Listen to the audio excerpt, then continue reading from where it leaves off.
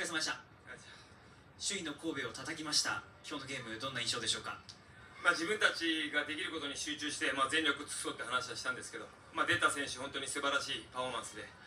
えーまあ、勝つに値したプレーを出してくれたと思います。本当に前半から井上選手の素晴らしい先制点もありましたししっかりとした守備から攻撃というところもありましたけれども狙い通りでしょうか？そうですね、あのーまあ、我慢強く守備してくれたとも思いますし、まあ、その中で、えーまあ、奪って早く攻めるっていうところですとか、まあ、効果的に得点が奪えたっていうのは非常に良かったと思います。そして後半かなり押し込まれる苦しい時間帯もあったと思うんですが選手たちのハードワークが際立っていたように感じました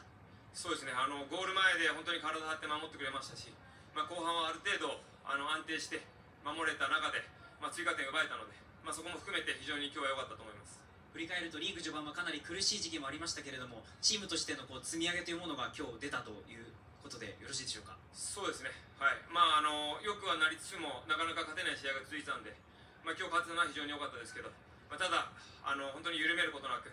えー今後まだ12試合ありますので、まあ、一戦一戦あの全力でぶつかっていきたいと思います。次は福岡戦になりますがこの勢いのまま行くために必要なことを教えてくださいまあ、毎回あの本当に崖っぷちのつもりですのであのそういった姿勢を週末の試合にぶつけていきたいと思いますみんなで。ありがとうございました。ありがとうございました